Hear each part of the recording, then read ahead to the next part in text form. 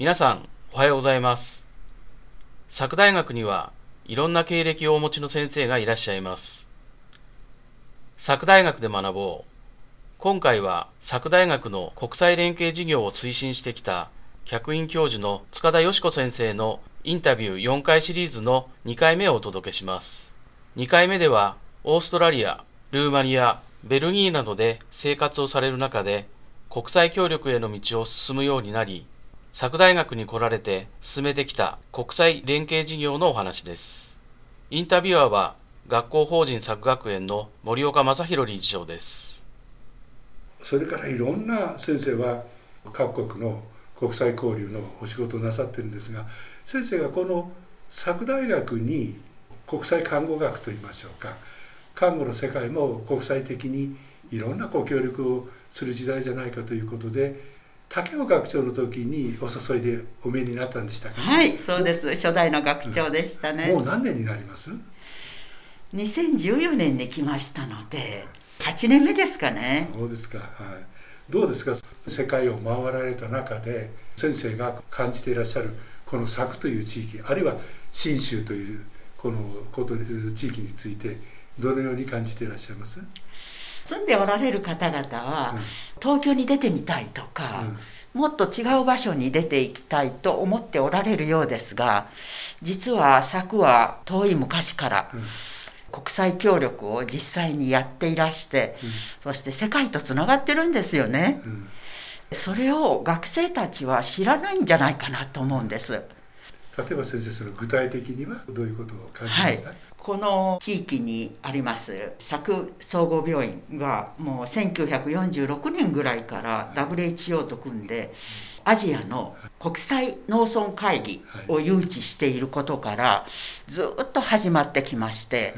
今日まで佐久総合病院には国際保健医療委員会などもありますし多くの先生方が佐久病院に勤められた後厚労省や WHO のフィリピンだったり WHO のインドの事務所セアロだったりに赴任していかれてますので本当はもう大変国際とはつながっているんですね。で私がここに2014年に公職させていただいた後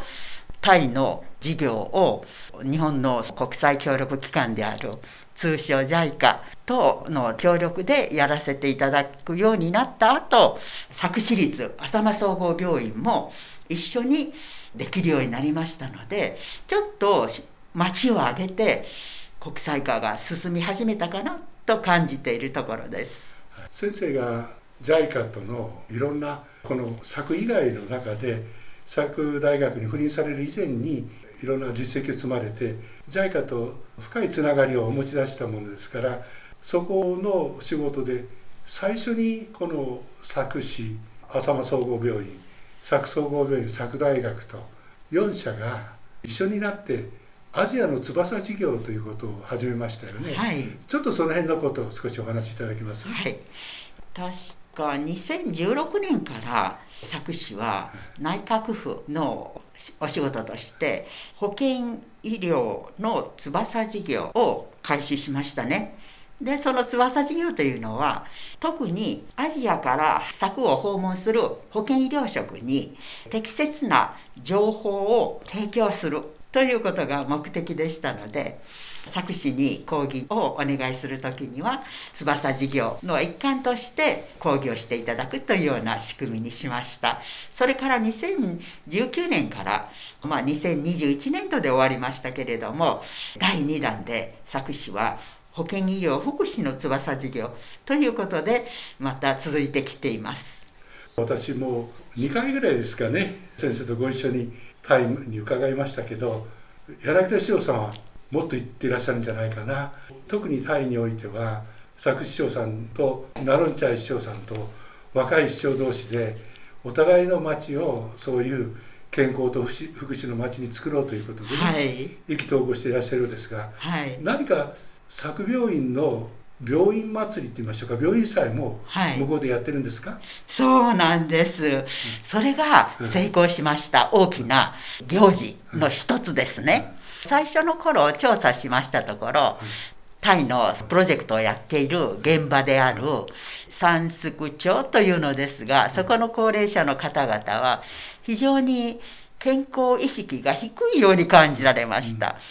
と言いますのは60過ぎたらあの高齢者なんだから病気の1つや2つはあって当たり前というような感じで自分で自分の健康を守る。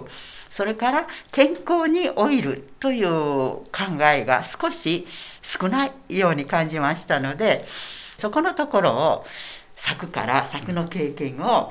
活用してもらえばいいと思いました。次回は作総合病院の病院祭をモデルにタイで開催した病院祭などのお話です。